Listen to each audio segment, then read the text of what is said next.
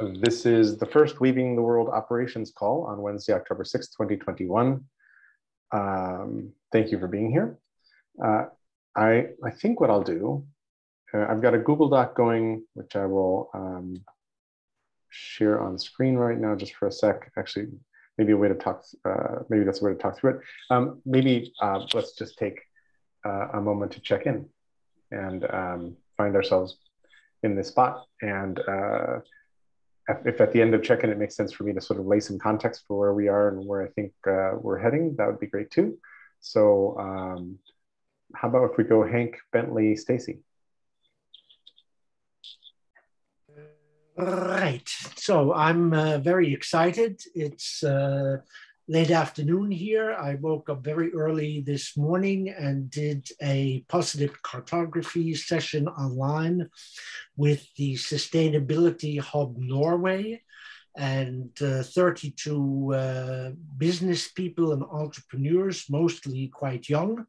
Well, let's say 20 somethings, 30 somethings into the 40s. That counts as very, very young for me, that's very young. Anyway, uh, yeah, it was extremely successful. Uh, it exceeded everyone's uh, expectations, including mine. It was an abbreviated form, since ideally you do positive cartography in three days or three weeks, and we had done a, a, a, three hour version, but this was a 90 minute version. There were five subgroups one looked at uh, the future of sustainable business in 2030. Two different groups looked at the future of sustainable business in 2050, and two groups looked at the future of sustainable business in 2099. There were uh, great uh, conversations in all the groups a uh, lot of lot of good ideas, a lot of commitments made, and it tastes like more. So that's uh, my check-in for now. I love your last sentence there. Tastes like more. that's fabulous. Um, in the event that they, anybody left behind artifacts that we can point to, and that there's a web link for this that session or whatever, um, pass them over. Just because I'll I'll curate them into my brain, and then they, they can become an artifact as we start weaving the world. Um, and feeding the fungus and all that. But um, can, can you give us a taste for what anyone any one group came up with that stuck in your head that made you like like this is this is hitting a, a special note? Oh yeah, uh, global global guidance for new uh, new values, uh, leaders as facilitating uh, uh, organizations, uh, totally re, uh, rethinking the economic systems of the world, uh, uh, a world, uh, a culture of kindness and caring where everyone is very happy to take responsibility for things and take and be accountable for the things they take responsibility for. Stop measuring GDP and financial transactions and start measuring how people contribute to the well-being of society, but stop measuring everything. There's too much measuring going on. And, well, oh. oh, cool. So this happened on an alternate planet then. Uh, uh, well, remains to be seen. I know, I know. We got to figure this thing out so it happens on this one. Yeah, well, let me just share my screen for a moment. I'll, I'll show you a board or two without going into details. Uh, where is the sharing screen icon here? One second. So we had set up, this was where I was working in uh, 2099. Uh, what's your preferred uh, uh, future for sustainable business? Seven generations from today on the verge of a new millennium. Uh, people chose uh, photos or images or uploaded their own uh, sense making and storytelling zone. Uh, lots of input from the group. It all went so fast, there was hardly time to hmm. move on to uh, uh, journey making. What are the steps in an emerging process? How do we think to get there in, uh, in the next seven generations? Uh, lots of new ideas and a whole set of uh, commitments that people said we're going to do it. Uh, so uh, that's just one of the examples. There were five boards like that. Uh, cool. But uh, it's a young group. We're so enthusiastic. They said, let's let's do more of this. We've, we've never experienced something so positive. Everyone is, I mean, it's a sustainability hub, and they're all worried about the collapse of, uh, of ecosystems and climate catastrophes. And this game just got them, and especially in the 2030 and 2050 groups, got them into rethinking their own strategies as people, but as entrepreneurs and business leaders. Very, very happy about it. Love that. Thank you. And you're giving me good ideas for workshops too. Um, that's really helpful. Um, Bentley Stacy? So uh, I'm a little tired today, so I'm not sure how effective I'll be. Um, I woke up thinking about logos, both for my brother's project business and weaving the world. So uh, that's where my head is at. Cool, thank you. Um, it turns out that one of the employees at Ziba uh, is a textile artist. She has a degree in textile arts and then sort of shifted out of that once she graduated and couldn't really find a way to make that work. But I talked with her about maybe getting together and looking at some of her stuff and just taking some photographs, uh, maybe producing something. I don't know. We're, we just sort of explored the, the terrain because I was talking about the weaving metaphor and how that all works. So um, she will hopefully dip into some of our calls, but I think uh, she's she got very excited about going back into the work she cares about uh, metaphorically for for around these this work. So that was kind of cool. That'd be great. Yep. Um, Stacy, Carlston, Pete. I'll save my time for checkout. I'm excited. I want to get started. Awesome, Klaus, Pete. Yeah, it's uh, it's busy. I, it's impossible to keep up at the moment in the regenerative agriculture space because the uh, UN summit is focused on food this year and, and the uh, surrounding initiatives are just incredible. So there's an interesting split happening between the United States in partnership with Brazil and, and uh, UAE of all places, United Arab Emirates, because they're producing uh, synthetic nitrogen with their flare of gas, you there's a contribution there. And uh, apparently the rest of the world, uh, Germany leading, pulling uh, China, Korea, Japan, other big big players, uh, the Africa into this uh, regenerative movement, um, and the split is is is profoundly difficult for the multinational companies who rely on monocrop cultures, and so the here in the U.S. we are pushing also now concerted on, on uh, monocrop cultures as the root cause for the environmental degradation, because when you put the same crop into the ground over and over, you then rely on chemicals to keep that thing alive. So that's that's um, that's exciting. It's creating enormous tensions in the political process, as you can imagine. I mean, all this noise obviously has underlying reasons from from from behind there so that's that's that's amazing stuff. But uh, I'm onboarding with uh, with this group on on uh, on on Friday as a brand strategy consultant. Um, it's the uh, I, I, can't for some reason never it's planetary care and that's a pretty pretty big hmm. group they have over 50 members uh, they just got uh, a million dollar uh, uh grant so it's it's uh, uh, and, and and and have some some really viable projects. So I'm excited about that. So I will have to top some other things to uh, to focus uh, on my time. So when you say uh, onboarding, you mean as an advisor? It looks like they have as a partner. Wow, cool. Yeah. That's his Forrest. You know, he was he has been in touch with our group. Uh-huh. Oh, cool. Forest Lighthouse? No. Yeah. Oh, okay, great. And I've got some catching up to do with Foresty. Uh, pro- pro- quite possibly beers together in Portland at some point soon. Um, so I'll contact him again. Um, I had posted this article in the food systems chat, which was um, like the critique of Bittman's new book, and it was interesting because I thought it, I thought it, it explored the space between big food, industrial farming, and small farms very nicely. Uh, and the, part of the critique of Bittman's work was that um, there's sort of this idyllic everybody will go to a small farm, small farms will make it work.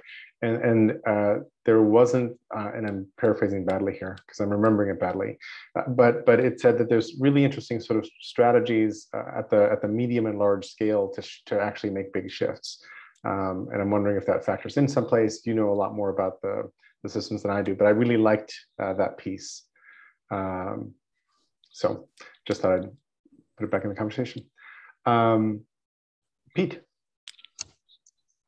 Uh, two quick things that feel kind of related to weaving the world. Um, one of them is uh, Rob asked an interesting question, I think, in the OGM calls channel. Um, he's like, so I don't go to the calls. What's going on with y'all? How do I find out? Um, and uh, Jerry and I both answered. Uh, I had an answer. It was basically wander around and ask people. Otherwise, there's not a, a, central place to, to look. You can look at Trove, and Trove has got um, a lot of the big tent poles or the big masks uh, that you would see in the flotilla, but it, it doesn't capture the, the news of the day, kind of. And so then I made a joke about wandering minstrels, uh, and and Jerry uh, replied in kind.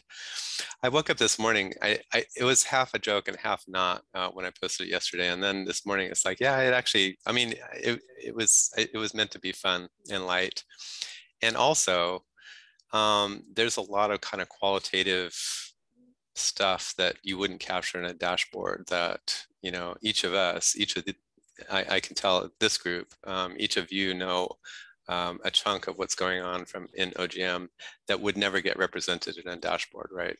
Um, the way Wendy M is, you know, doing stuff with Jerry and me, or the way uh, Wendy E is doing stuff with me and Mark Carranza, or, you know, it's just, there's, there are big projects, but then there's gossip in a good way um, that uh, I, I wonder if Weaving the World is going to pick up some of that, you know, um, uh, kind of interesting uh, below the fold kind of news news of the network. Mm-hmm. Um, uh, the other thing uh, is that um, uh, Jerry and the crew yesterday on the Build OGM call, um, I, I ended up bumping, or I was maybe it wasn't that call, maybe it was another call. Um, but anyway, I was poking around in, in YouTube. Um, I've gotten uh, a, little bit conversant with uh, the, the YouTube lingo kind of or YouTube culture in a really small corner. Um, I watch music videos, uh, uh, musicians talking about uh, music um, on YouTube. Um, and so uh, they use some of the, the idioms that you find other places in YouTube, um, the way they edit, uh, the, the language they use, um, the different styles of videos uh, that they produce. Uh, some are some are for performances, some are um, reaction videos. Some of them are um, mashups of a couple different channels together. Um, uh, and um, there's I uh, and, and, another really cool thing, um, people that don't even know each other will start to to refer to, oh yeah, I'm watching this person over here, um, and you know they're doing some wonderful stuff or something like that. They they actually a, a set of people in the same kind of general um, realm will start to knit together um, pieces of things. Um, they'll uh, there was a, a, really fun one where um, one of the people that does a lot of music analysis did kind of a takeoff. Uh, I think they they they did like 30 seconds of everybody else doing the same kind of thing, and they did it um, in kind of an you know they did an impression of that person doing it, and it was it was really funny and spot on, and it also tied together um, all of those folks in this larger conversation that's happening on top of YouTube videos. Um, some of it is a little too dear. Uh, Jack Conte actually is uh, part of some awesome projects on YouTube. He's been doing YouTube forever and um, uh, he's doing awesome projects. One of his latest ones, they their production style is is over the top. It's it looks like clickbait um, if you're not paying attention. I guess now that I think about it, there's another guy, um, a supremely awesome bass player, and and about 20% of his shtick is completely shtick. It's this camp. Uh, he's kind of got a, a, character he lays on top of his awesome performances and awesome stuff. I, some of that is a little bit over the top for me, and I could do without it. But on the other hand, I don't know. I, I can also kind of plow through that and get to the meat of it. Um, there's some amazing kind of creators, uh, thinkers, uh, performers doing stuff collaboratively in the round kind of um, on YouTube that I didn't really think of that way until Jerry started talking about Weaving the World, and I started thinking about what would the Weaving the World podcast, uh, video podcast be, and is there a larger space for more of those similar things interacting together? And you you end up having to pick up some of the some of the YouTube culture, YouTube lingo um, to to do that effectively. I think so. Thanks, Pete. And that took us into a really generative space, imagining things we might do in Weaving the Web that would be different from a standard video podcast, which is just a bunch of episodes posted separately. Um, and you know, so that conversation included like a Mystery Science Theater 2000 kind of version where uh, currently Weaving the Web would probably have normal episodes and then post-processing sort of weave, uh, feeding the fungus episodes. And then there could be meta, there could be like commentary on uh, any, any person could do a commentary on any of the above and then feed that into the stream and we could build links of, of those uh, of those commentaries connected up uh, to the, the, episodes. And at some point it, it like explodes uh, you know if, if participation goes crazy like there's too much for anybody to watch.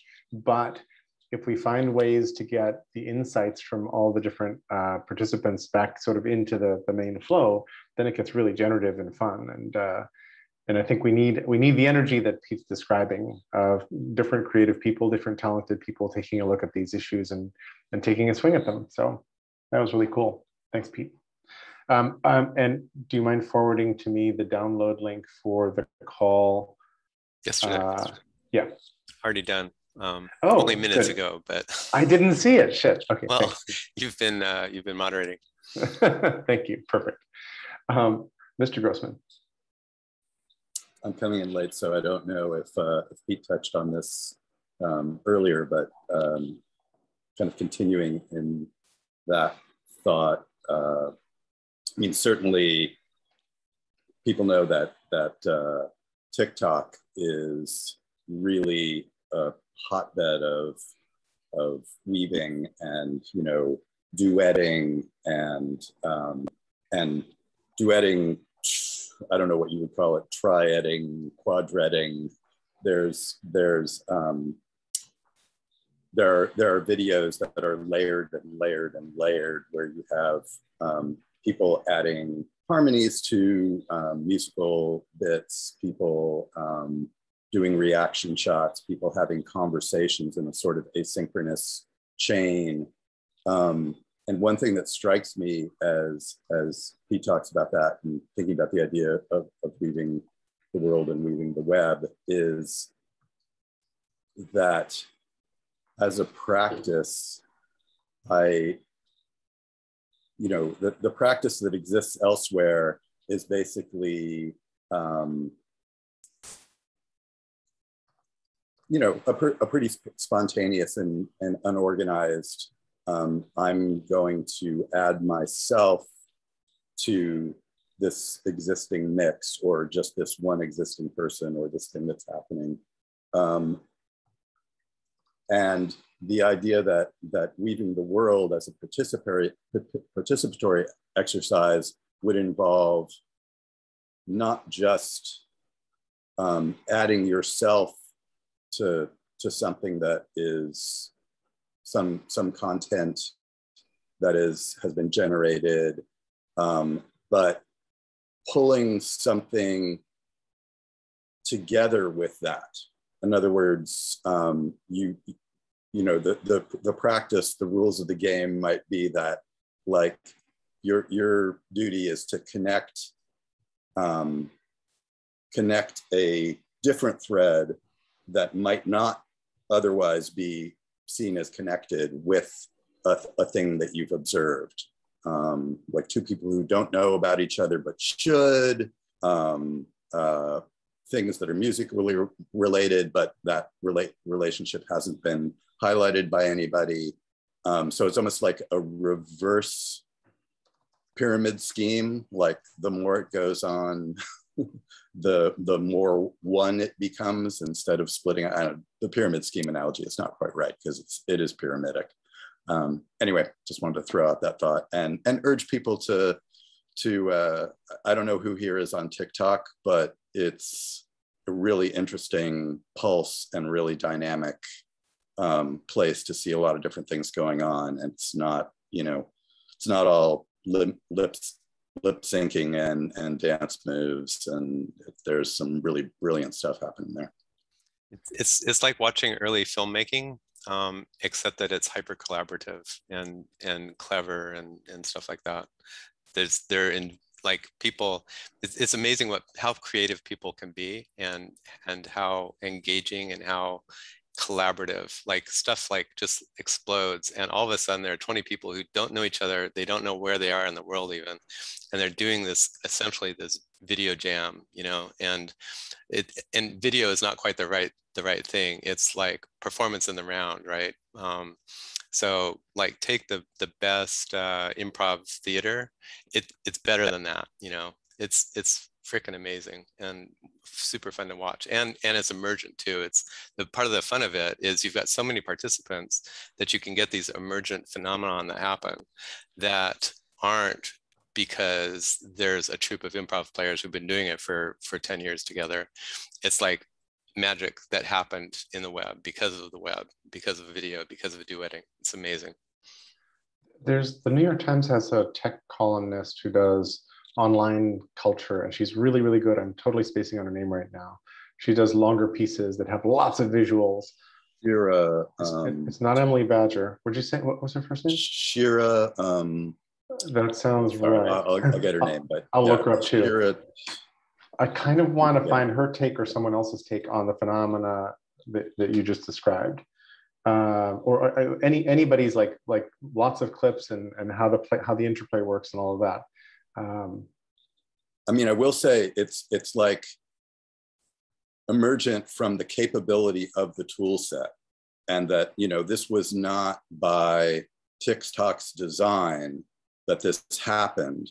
This is you know, a really great and, and easy to access tool set that um, participants educate each other on ways to use or to bring in third party things. You know, here's how I, I mean, just like in the music sphere, somebody, uh, Pete, that thing you posted where somebody was breaking down Billie Eilish's um, Ocean Eyes um, and, and the tracks. And um, this this was in the Meta Music um, uh, CSC Mattermost, um, and that that a lot of there are a lot of um, videos on YouTube explaining how to make both videos on YouTube and do other things. I mean, it's a good place for the how-tos that people have gone to YouTube for, but they would that would be unmakeable without the tool set that um, that TikTok has has made much much easier than YouTube ever did. I mean, YouTube just like you make it however you make it, you put it up here, but we're not helping. Um, so I, I do think that that's Mean, that's something that I think about in terms of work I'm doing is like how it, it takes um, really ace tool creation and, and technical knowledge to make things simple and that uh, yeah i mean how, how to do they that. kind of they kind of accidentally in, invent like tick you know tiktok was like oh it would be cool if you had a talking head and then somebody else could talk you know against it. Or it'd be really cool if somebody could sing one part of a song and then somebody else would do a harmony or something like that. But but then you can take that the the the duet and then you can duet that right? So all of a sudden you've got this like mix in time kind of thing that, that happens.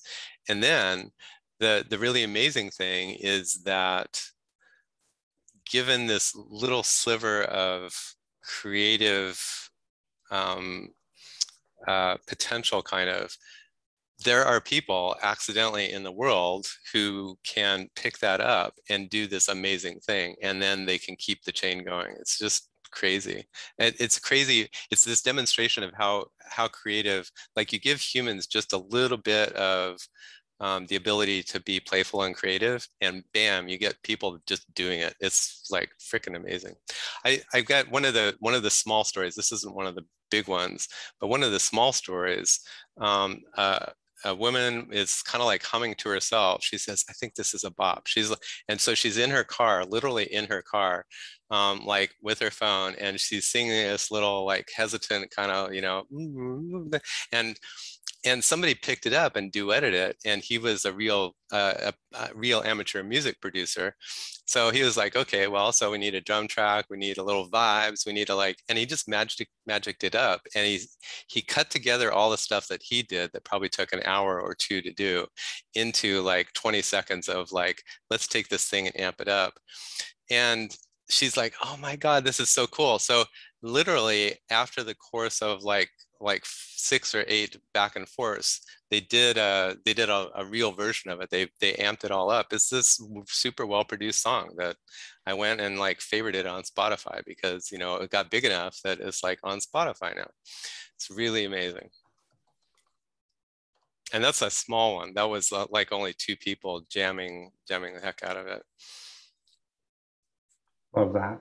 Um I'm adding a couple things. Amanda Hess is the reporter and she's really really good at what she does. Like her her pieces are are really incisive and she's been online a very long time knows the means knows the the forces but has a really good way of, of expressing them.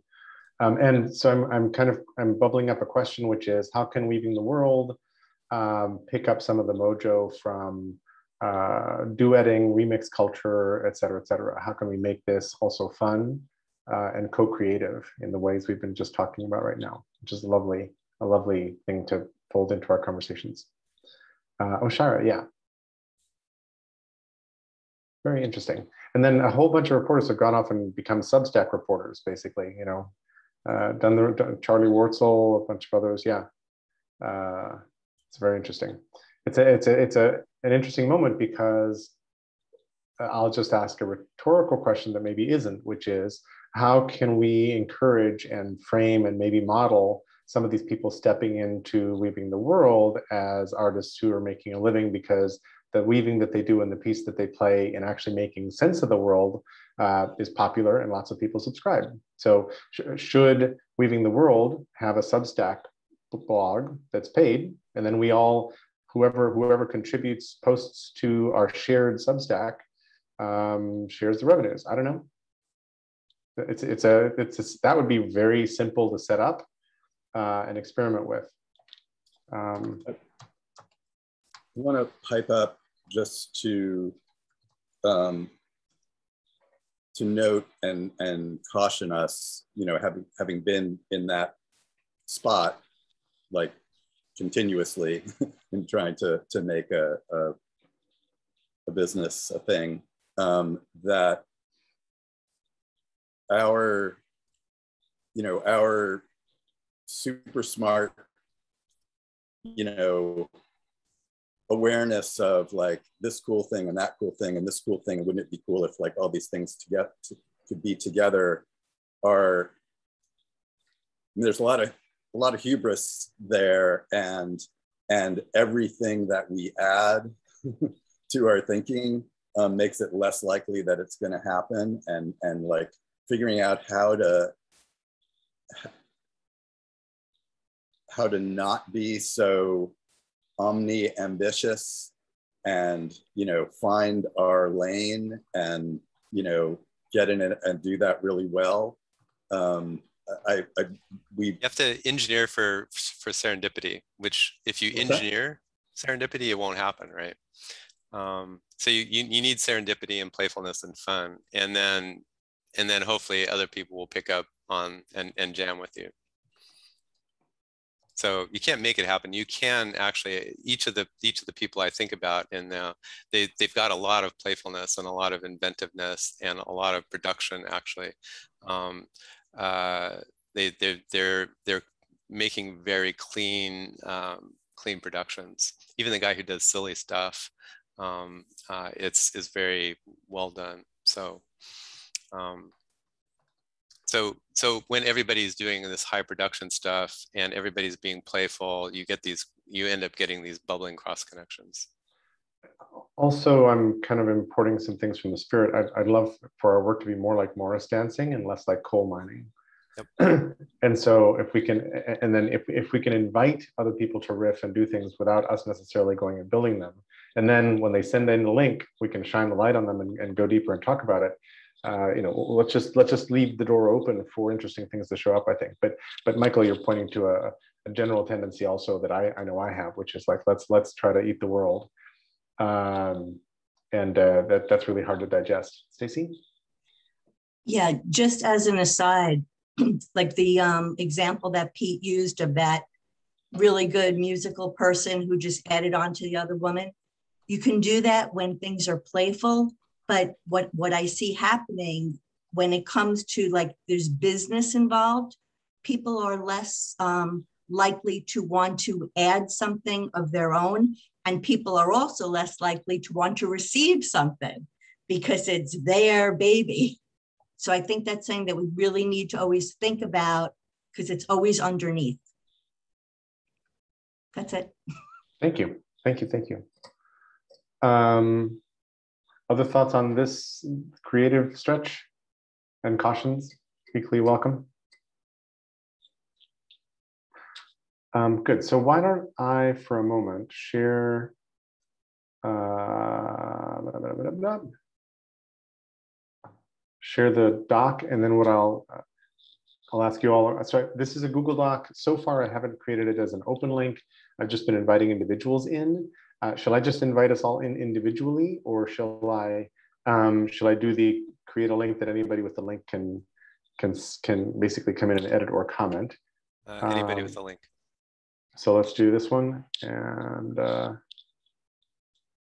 all right, let's post that to the chat. Oops, I'm in screen share, so I don't see my chat easily. There we go. And then I'll go back to screen share and uh, go back to Did document. you set that to edit or? I don't know. I guess it, it looks like edit there. Does it? Okay. It says uh, request access. So I think I need to change the setting, but I figured uh, it didn't give me the option to change the, it just this copy link. It doesn't uh, actually let me set, change the preferences. So I will, I will go now and so it's going to it's going to open the document again with the dialogue. So um, you want to click. There's a, another thing you want to click there. Okay. Any, anyone with a link. Yeah, I didn't see that. That's my usual plan, but I'll we'll find it. Um, so I also wanted to go through this. Now my computer's going to, I think, bring up the. I, I think you might need to do it now. I don't think people can open it. It's not coming. Okay. I was waiting for this document to open the permissions dialog because I was, I had clicked on the notice that said give Hank permission. So I was expecting it to slowly bring up the dialog, which is now happening. Do, do, do, do, do, do, do, do. Computer now doing too many things at once. Officially.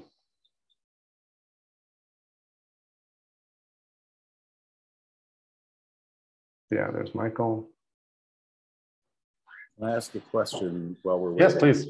This is my uh, first uh, Weaving the World um, uh, gathering as opposed to a um, Commons gathering. And I'm just curious about the relationship between the two and whether Weaving the World is in the Commons or Weaving the World is a totally, you know, other thing that's OGM proprietary or it gets in that existential. That's stuff. totally fine. Uh, so this is um, uh, as open as we can make it. So these I, calls I, I just filled it. Oh, you did it? Yeah. Okay, great. Thanks. I was wondering why it changed. Although you might want to say editor there, right? Ex that's what I was going to change exactly. So copy link done. And now let me repost that to the chat just in case. Here's an updated link didn't change anything. It's just the permissions that changed. Okay. Um, let me go back to share screen and just talk through the document for a second.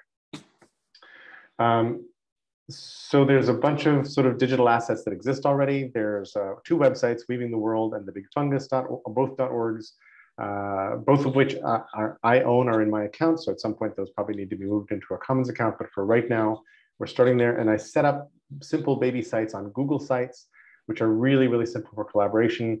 Anybody who wants to, I can add as an ad as an admin or editor on either of those sites. Uh, and I think that, you know, on the Weaving the World site, we're going to need uh, pages for each of the episodes, a bunch of stuff that a normal podcast would have, but there's, you know, that's a little bit down the road. Pete and I created a new account on uh, Gmail called OGM Forge, which is kind of the, I need, I need to shift from posting all of the episodes through my account over into a different account. So that's what this is. And I think that a lot of these assets will probably move over, move over there. Uh, also created a Google Drive folder for uh, digital assets. If we built a logo for this, it should go in that folder in a, in a subfolder called assets, that kind of thing. Uh, we have three Mattermost channels, one called Weaving the World, which is really intended for public discussions. It's really about when we start the show, we'll tell people, hey, come chat over here. This is the place where we'd like to have an ongoing conversation. Ops is for this conversation and designing uh, weaving the world and all, you know, designing the fungus and all those kinds of things. and then uh, there's a Mattermost channel for the big fungus to figure out how do we talk about this thing? What, what are the commons implications? Uh, other kinds of topics. I think I think that'll be an emergent conversation. Uh, we've got several GitHub repos uh, that have just been organically coming up around OGM. I've done nothing special to create a new repo for Weaving the World, but we probably uh, should and will. Um, we're, we've got a light conversation going with the Internet Archive, and I think that uh, donating our assets to the archive early would be a, an interesting piece of workflow to do. Uh, and then I created a very simple schedule spreadsheet that looks like this, uh, that Wendy Elford went and posted an offer into. So ignore this episode one, I'll, I'll delete that. But, but the idea here is that we'll have candidates basically listed uh, someplace, and I just started with a spreadsheet. candidates for episodes of Weaving the World, and then we'll talk about them here and then sort of put them up into a schedule uh, and then start enumerating them. And then uh, as we post them online, add links to them and other kinds of data that we need uh, in the spreadsheet here. But this, this is just an ancillary piece. And it's really simple on Google Sites, for example, uh, absolutely trivial to embed that spreadsheet on a page on, uh, on a Google site. So once that thing turns into a, a reasonable looking schedule that might provoke other people to send in ideas, I don't, and I, I'm quite sure I don't want that spreadsheet openly editable by anybody in the world. That spreadsheets that do that go down the tubes. Uh, but I'm very interested in soliciting uh, suggestions and figuring out, you know, uh, how to how to bubble up that schedule. Um, uh, one of the goals of this first couple months effort on Weaving the World, I think, is to create an explainer video uh, which says, hey, here's what this project is. This is why this is not your average video podcast. Uh, here's what we're doing underground metaphorically and, and how these things fit together. So I started a, a, another Google Doc as a baby script. And I think there's going to be a, a bunch of different Google Docs that spin out of this, uh, like you know intros and outros for the, the various assets. Uh, under here, this stretch here is all the common stuff about, uh, about weaving the world, and I'll come back to it.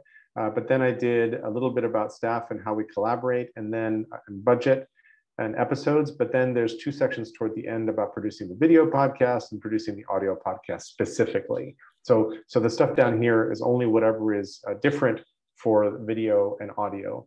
And uh, I had a really nice conversation with Jim Rutt's producer, uh, Jared James, I think his name is. I'm I'm just remembering it wrong off the off the cuff, but uh, he's delightful, and he's going to sort of write a proposal back about what they might do because Jim offered some of his production capacity, but I don't know to what level. And a piece of the budget that he's granting to us uh, to build this stuff goes into production uh, budget. So there, there's money actually uh, for somebody to do video and audio uh, production of different kinds. And for example, uh, Jim Rutt has two different uh, levels of audio of podcast for his show, which is the Jim Rutt Show. There's the Jim Rutt Show, which which is like high production value, edited with care, and apparently six, seven, eight hours worth of editing for every episode, like a lot of work to do. Uh, and then there's a second one called something like Conversations, which is meant to be less formal, less edited.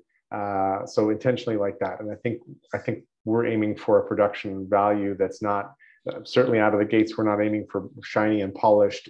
Uh, we're aiming for real, authentic, and like productive and useful. So, um, but there's interesting th things here, and I think that that uh, one inter- just one interesting thing to think about is given YouTube's affordances, because you can mark chapter headings in a video, you can do a whole bunch of interesting kind of metadata to YouTube.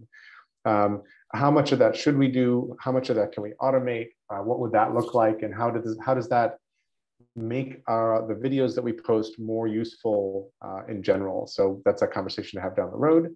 Um, but this created new, new YouTube account for it is the is the, the new Gmail account that I described that Pete and I started.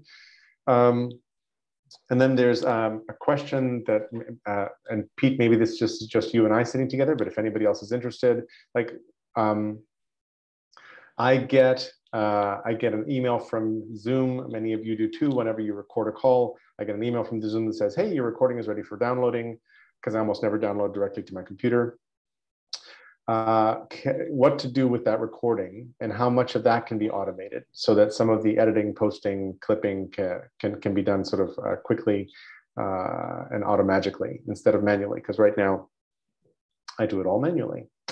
Uh, and then for audio, um, I, I looked at anchor.fm when it was uh, just a baby and they've, it's a podcasting platform that's kind of soup to nuts it, it lets you it lets you actually run calls while using Anchor, including throwing in sound effects, including calling a guest and having the guest join you.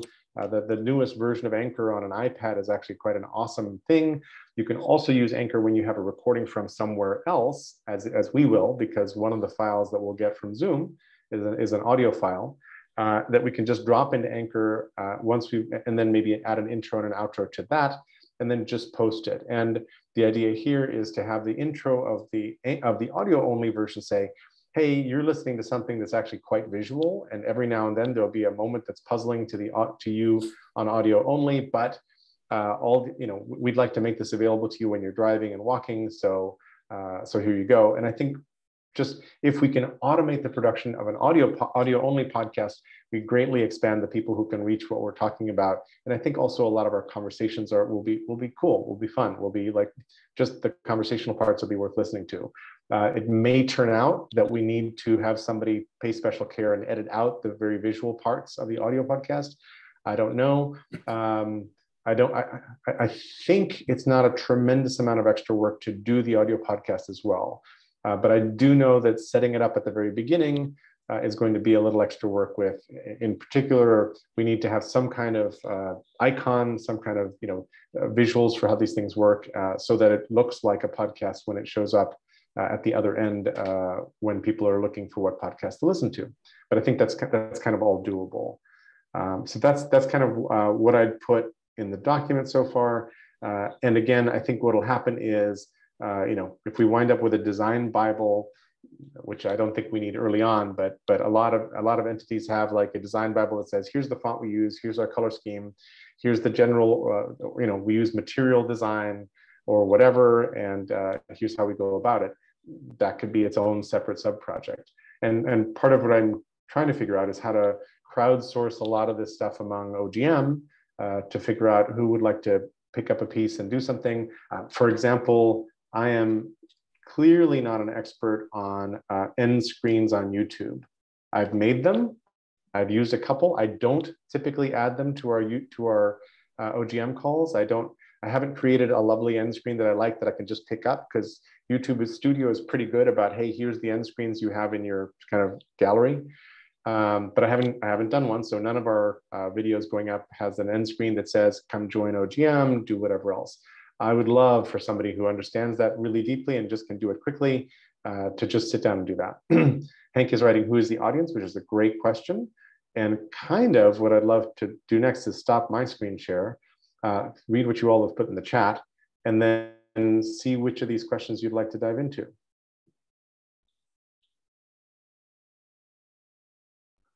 Uh, yes, I have a folder. Uh, Bentley, I have a folder and I can give everybody permissions to the folder. Uh, one question I have that I guess I didn't put in uh, in that list and because now it's feeling sort of like old tech, is usually when I do things like I, I, haven't done anything as big as this, as broad as this, but I often start up a Google group and I use the Google group as an access control list. And what I do then is I give the Google group access to the folder or the docs, and then I just add and subtract people from the Google group, and it kind of acts as, as a kind of uh, overall access control list for, for different Google properties. And it does so pretty elegantly. Um, uh, or I can go just add people to the folder directly, but then but then I wind up having to control folder access somehow carefully. So anyway, open to, to cleverer solutions. So I, I think as long as you just have one top folder, yeah, you don't have to manage anything below that. I think it's easier than to manage that folder than the Google group. Yes, but I'm afraid of making that folder completely open to the world. I, I would love a little bit of like. So just do yeah. access control on that folder. Yeah, what I what I what I've done in that case is I is I have a main folder that has access control, and then beneath that I have one that's called public that I have yep. open to everyone, and then we we can control what we want just by moving it into the correct folder. Well, that's good. I like that. Um, let me let me get to my the folder I created, and we can just stare at the permissions and see what what that. And means. I don't know. In general, what I like is having everything commentable by the public. Yeah. I don't know that they really need to to edit.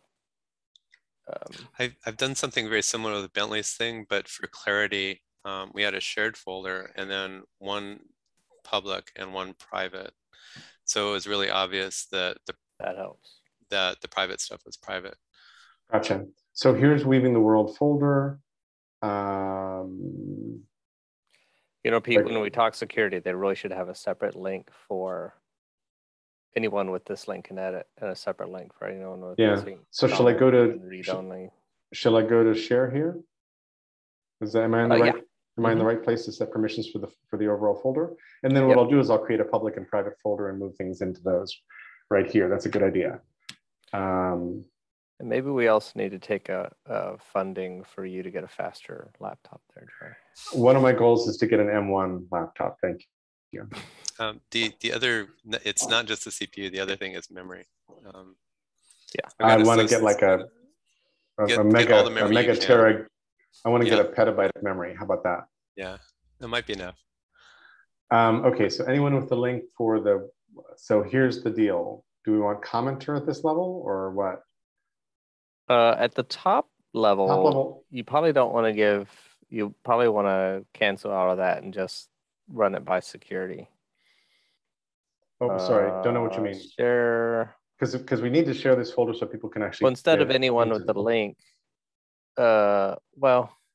The, the top level folder, oh. I think you actually share with the. It's essentially admins you share that with, and then the public one you share with everybody, and then the private one you share with who with all the all the participants. Gotcha. I guess the challenging thing about that is that when people have when they're searching for that in the share folders, if it's just labeled public, it'll just be public. So we may have to call it yeah, WTW a, public.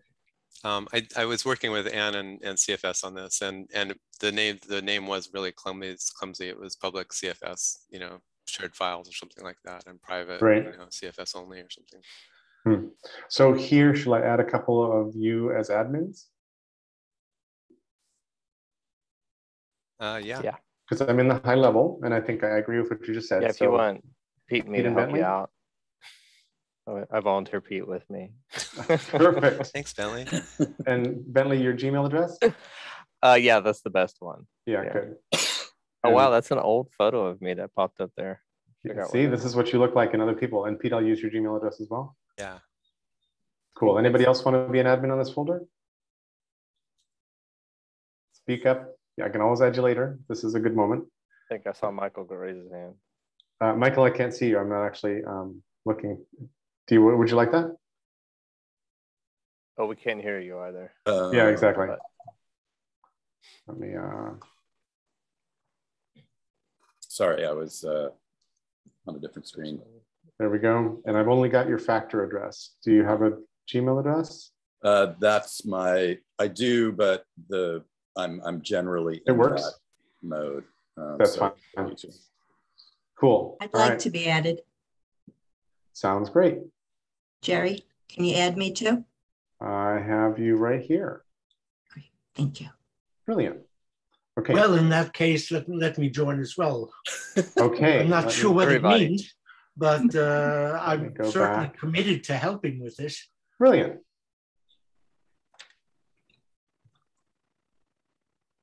Uh, I do have a Gmail address if you why don't we use your Gmail address, I think, instead? What is it? uh Kuhn47. Yeah, there it is. Oh, look. Kuhn47 at Gmail. Let's use that one. How about that? Terrific. Cool. And then um, I will create uh, two new folders in here, public and private. Is that right? Uh, actually, make them fancier. Um, let me hit return on on a Zoom chat thing, something like this. Uh, You, you want to include the name of the org, so WTW instead of CFS. Right, right. And then for the public one, you, you kind of need all of that. It's shared. Yep, it's a folder. It's publicly visible, gotcha. um, so that it's really clear. So that it's really clear. Gotcha. Okay, so new folder. And the reason for that is people just see that name in their in their G drive, and if Right. you don't have all of that stuff in there, it's it's completely opaque what it is. Like So for I that forgot- one, you might want to spell out weaving the world. You're saying, right? Good point.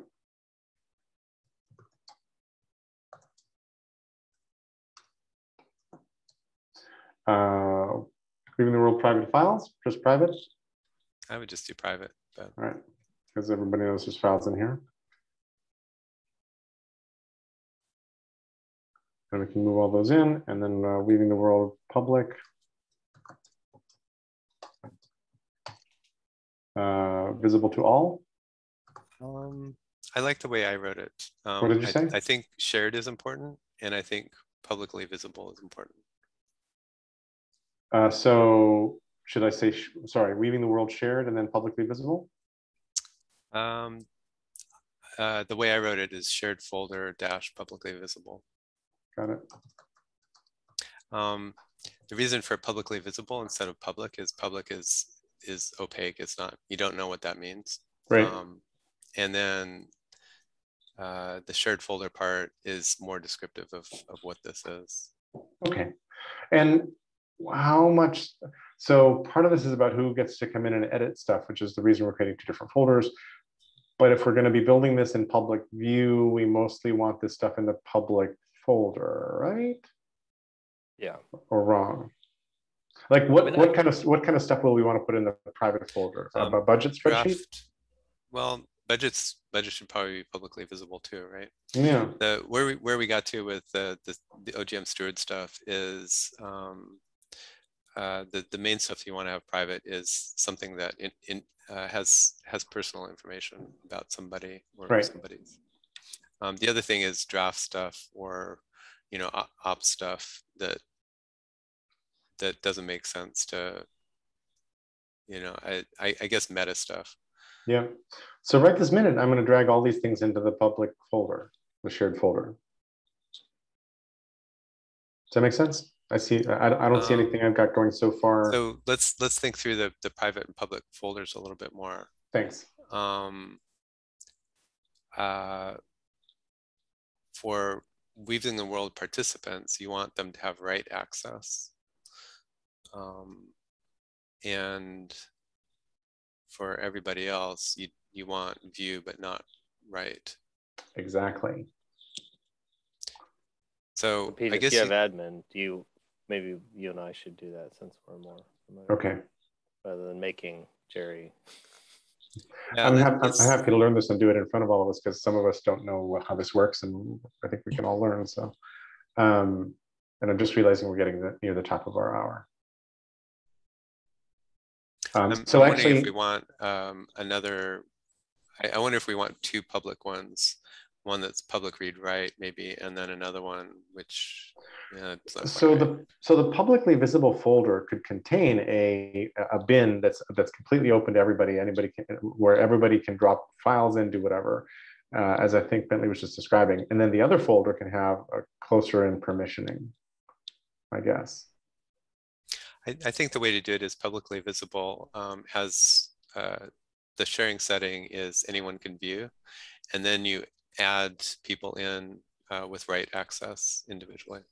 I think that's the way you end up working. So we end up actually working an access control list at the folder level in Google Drive. Yeah. Okay. And that sounds fine. Well, let's let, let me postpone that because I wanted to spend the end of our call just sort of talking about priorities. Um, one important question I've got is when should the first episode be and who should the guests be? That's like really important at this point. Um, I was in a great conversation yesterday, which was part of the mapathon that Kiala was kind of holding, uh, that included Joe, Mila, uh, and Amber, uh, whose last names I can produce on request but are not in my head right now. Um, but we ended, pardon?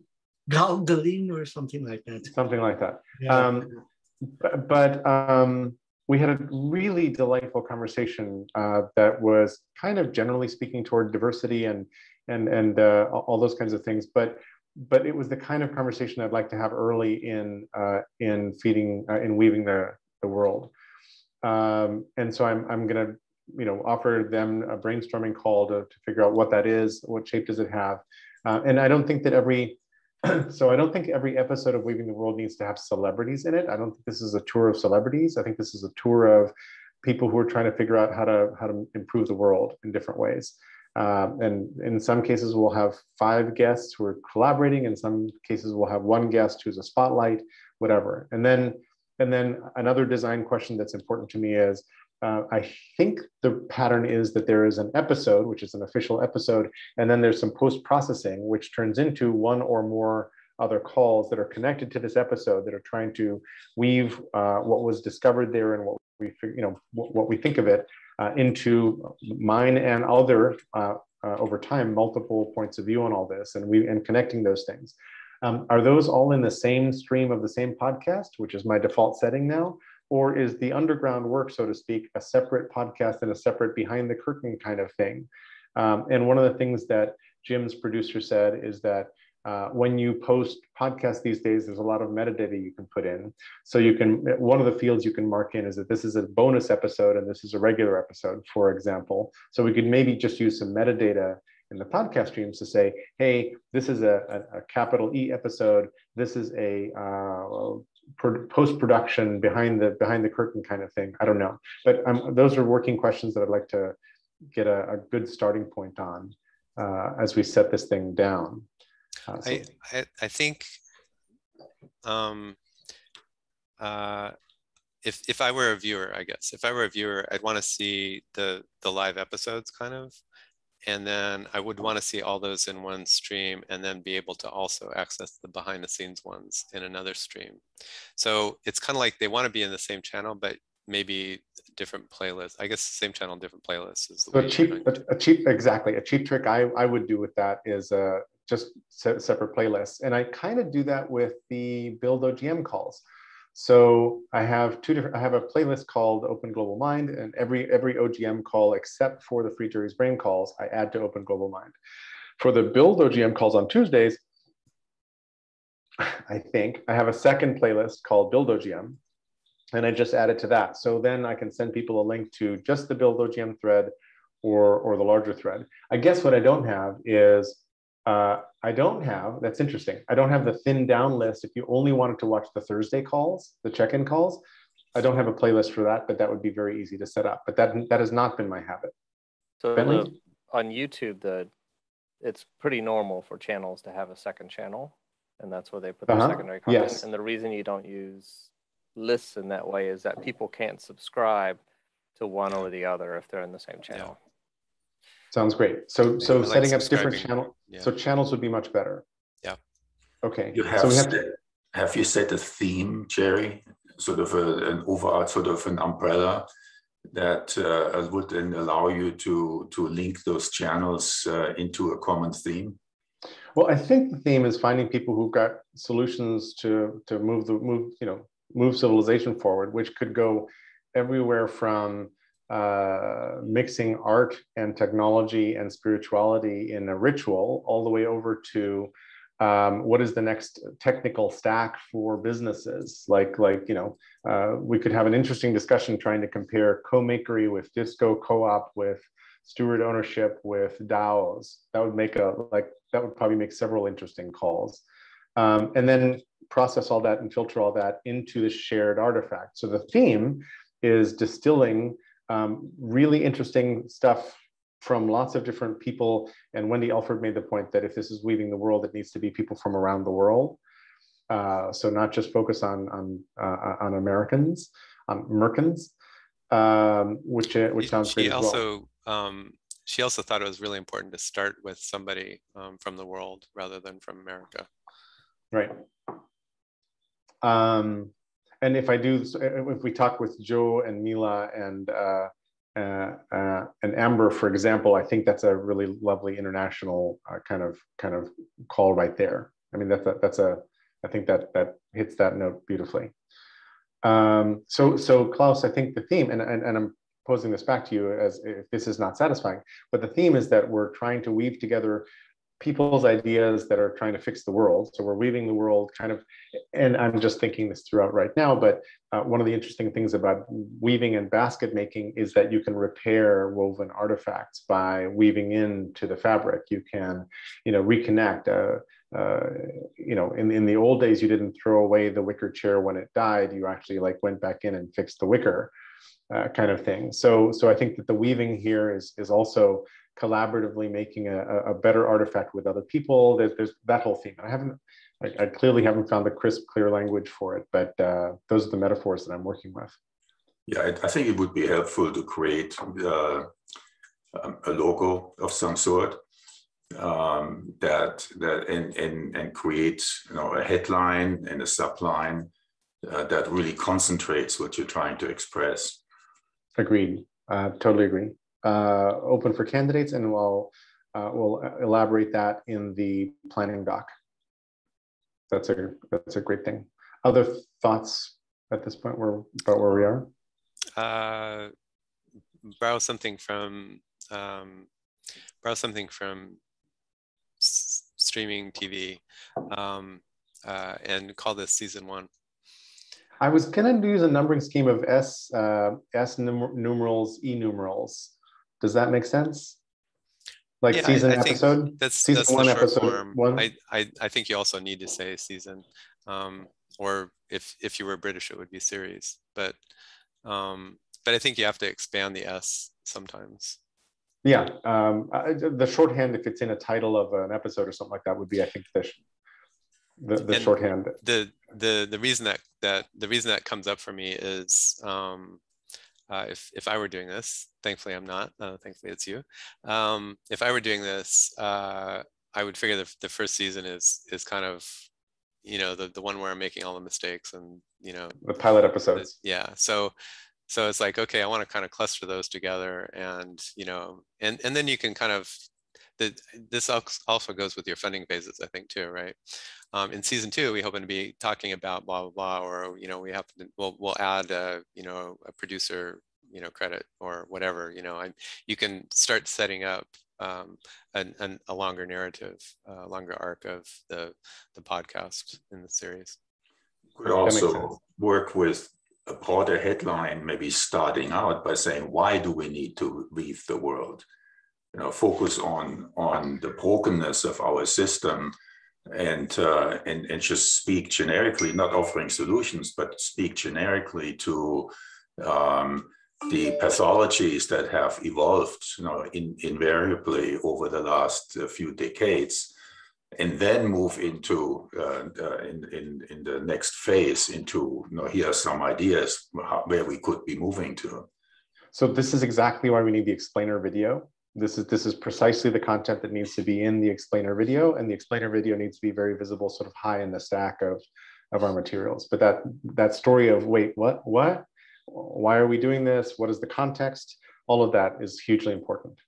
Um, totally agree. And then a, a last note which is that um, I think one of the one of the things that that we'll do here is have correspondence, and I think Stacy might end up being uh, weaving the world's first correspondent uh, in this in the sense of Noah, Trevor Noah has correspondents who do reports from the field and and do different kinds of things. and and Stacy will arrange it in whatever way is comfortable for you. So it could be that I'm you're not the sure. I'm not sure about the way you're framing that. good, and and and it could be that you're it could be that you're the producer of an episode in one of the series, uh, and you're behind the curtain, but you've figured out what's the topic, what's the guest, and I'm and I'm actually facilitating the thing. That could work. But if you wanted to step in and like play, be facilitator and all that, I'm like totally into that, and I'm happy to to coach you or to whatever level of comfort and participation you want. Let's let's let's work that. Thank you. I'm really interested in the post production part. I think there might be a lot of opportunities there. So thank you. I will take you up on that. Cool. And and I think I need I need mentally to figure out uh, better how to explain and what is the relationship between weaving the world and the big fungus because uh, what I have now in my head is that Weaving the World is one of maybe eventually many different shows and other entities that are feeding the big fungus together. And that, that the framing of the big fungus is temporary and it's a starting point, and it's our own funny tongue-in-cheek metaphor for the commons, which all of us should be feeding. And, and so I don't care if anybody else calls it the big fungus, but I care that our commons connect in a much more fruitful way than what what is happening right now. I mean, the good news is that right now there's a whole bunch of GitHub repos and other other places where you can find code, uh, book writings, other other sorts of artifacts. That's great, uh, but but they're not woven into a shared story or set of stories or, or other kinds of things. So that's kind of the idea for for the big fungus. But how to explain that well uh, and and also practically, um, what do these what does this higher level layer of linkages actually look like and mean? And we're that's what we've been wrestling with in, in Free Jerry's Brain and a lot of OGM for the last 19 months now, 18 months now. I don't know, as long as lockdown. The, the real gap in in uh, communications with with uh, the general public is a lack of systems thinking. I mean, the understanding of systems. So interestingly enough, when I was uh, interviewing with the uh, planetary care group here, they asked me, so what should we call you? Should we call you the Viva? Literally, I said, no, I'm just, I'm a strategist, right? So the idea of, of, of strategy really is an understanding of connections that need to be relationships, right? That need to be pulled in. And just to start out by explaining, you know, how our thinking must advance you know, toward uh, to to to understand the connection, the moving out of our individual area of expertise and seeing how we are linking and impacting other areas. I think that's that's the most important piece, really, to get uh, to get more people to move. Uh, Love that. Agreed. I was um, a, a couple times uh, this call. I've thought about uh, Estelle Caswell um, and Vox Earworm. Um, this was a, a, fairly short series, um, but uh, they they produced them really well. And that thinking of this makes me think of I I can look at this podcast and you know talk talk a lot about what I see um, and why it works you know that so it's each each one is around a question and the question is really intriguing and interesting. Um, uh, caswell does a great job of of kind of explaining something. Um, so like uh, how a recording studio mishap shaped 80s music um, uh, is is the story of gated reverb um, and how Phil Collins gave, gifted a sound to the Phil Collins and his producer uh, gifted um, a, a, sound to the world that really changed 80s music. And here's um, here's an, here's an episode that I curated into my brain about Coltrane's changes in the Circle of Fifths, which I knew zero about, and it's fabulous, fabulous episode. So it it makes me think that it would be productive. Uh, um, to start collecting those from from everybody um, and then having having the person who collects it and maybe other folks go this is this is why this podcast was really interesting to me and this is you know this is what i see that they did um, production tricks or the way you, you uh, frame the question or the way you edit and all of that um, uh, because as i watch these different folks doing stuff you know there's there's things that one of the one of the interesting things that now only in thinking about all of them together um, andrew huang has a thing where um, he talks really fast. And and by the way, there's another. I'll have to find it and share it. Uh, there was somebody who did uh, a, a, research group did a a, a video editing robot um, that could emulate different styles of um, video editing. Um, uh, and there's and I learned a lot just from the way that they built this robot. But uh, you have close shots on a face, you have long shots with two people talking. Uh, uh you you can have long edits or short edits, and they actually went through. Um, here's a cinematic uh, uh, cinematic edit set of edits around a, a, thing. Here's the YouTube style version of it. It's very short and very chopped. Um, but anyway, uh, Andrew Huang uh, does a thing where he's talking and then he high fives the screen. Um, uh, the slap bass guy, I don't even remember his name. I think of him as the slap bass guy. He's his whole podcast was about slap bass, more or less. Um, but he also does a thing. I think he does a slap. So there's a interaction with the screen and the viewer and a hand that is different than you know. It, it makes it materially different because you're doing that um, it it feels clunky the first time a couple times you see it, it it's like I don't see that on TV. I don't see, you know, some actor high-fiving me on, on through the screen, but right. but it also is a connect, connective thing and a demonstration that you've got hands, not just a not just a head. And so thinking through all of that stuff and how they how these folks have put stuff together um, and what was successful and what wasn't um, uh, is a I, I think that will be a useful thing to start to tease out. And as consumers of YouTube videos uh, or TikTok videos or whatever, um, I think if we start to articulate those things to each other, we'll we'll learn more and maybe get better at it.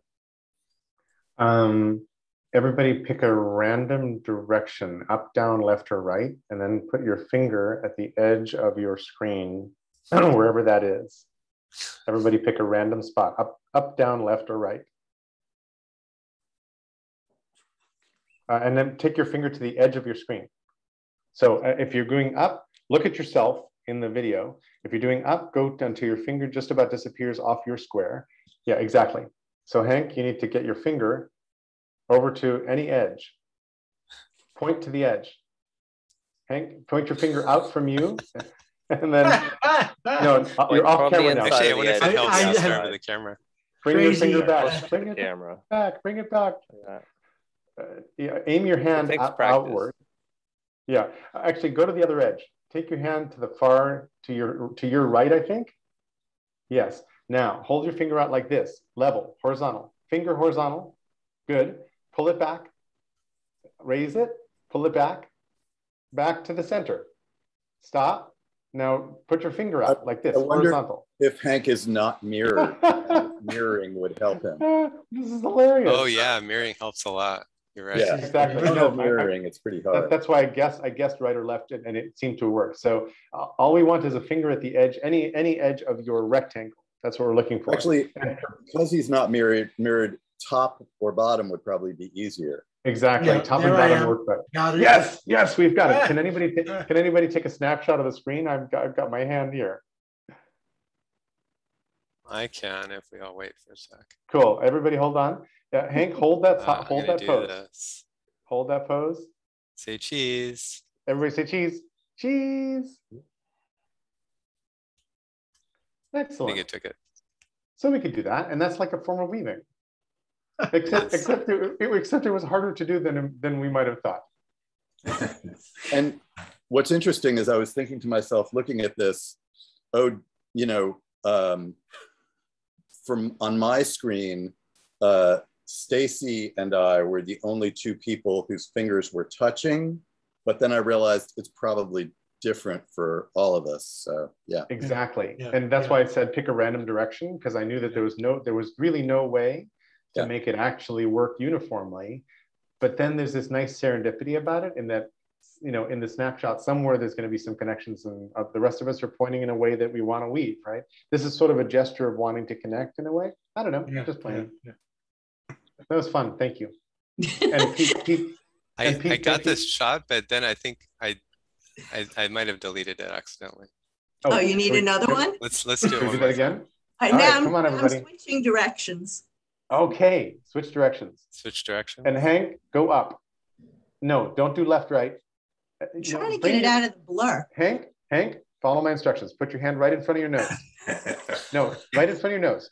Now raise your finger, raise your hand a little bit until your finger goes up more, up more. Stop. Now go to the right of your head. That's your left. Oh, that's your right. Good. That's what. That's good. Hold it right there.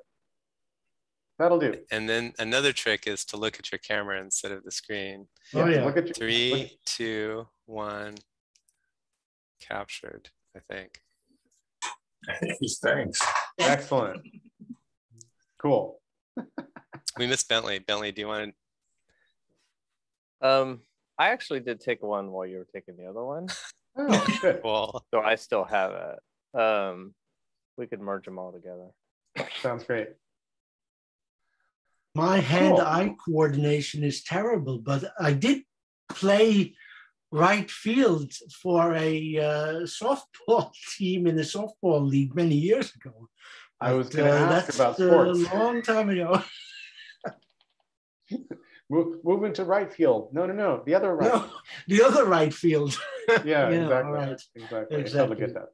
Um, any last thoughts on this call? I have a question. Yeah, Yes, um, please. I wanted to know what what the laws were in terms of um, adding YouTube clip YouTube clips from other videos to one's own. Like, are there like I don't know what the copyright laws are. Sort of quoting other YouTubers and like taking a piece of their video and adding it to yours. Yeah, Um, I, if you if you do that with a with a Taylor Swift video, uh, the No, law no, will no. descend on you sharply. No. Let's say let's say it's a video posted in another Facebook group, so to speak, or let's say it's the same guest that Yeah, I is will, now I will being. let I will let I will let Pete speak to that.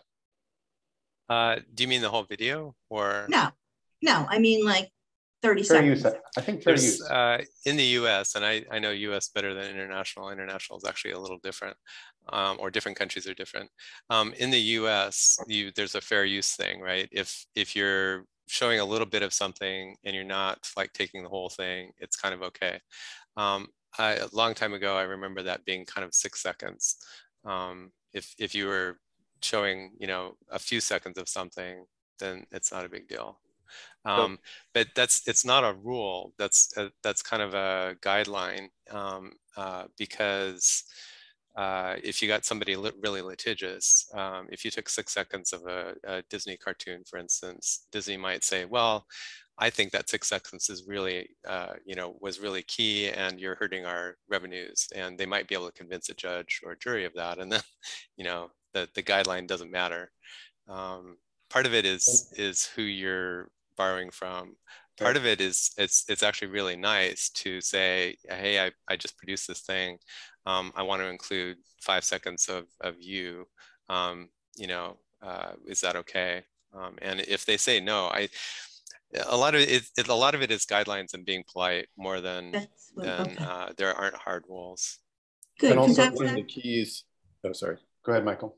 I was just going to say one of the keys in in internet context is if you're excerpting something with attribution and linkage, you know, if you, if you're saying, um, here's you know here's five second here here's you know 30 seconds of an interview so and so did with such and such, and you can find the entire thing here with a link Yeah. nobody minds that you know it's it's a it's a plug for them Yeah. um, so Also- that that that really is you know most of most of the best of what you see of excerpting um, that isn't referred nobody feels ripped off everybody feels So it's more a question of etiquette, though, than of legality. well I mean, legalities come in when somebody can say, you are trading on my good name.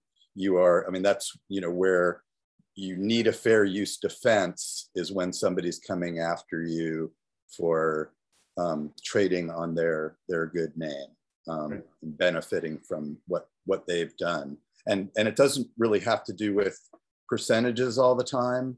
I mean, or a number of seconds because, you know, percentages come into play. Like if somebody produced a 15 second video that, you know, went viral and you use you know six seconds of it that's a much bigger deal than six seconds of something that's an hour long um, so yeah And The, uh, it's very it's, judgment call it's kind of an etiquette guidelines thing, but but in reality, what it is is how likely is somebody to sue you, um, and how likely are they? How how likely are you to be able to defend yourself?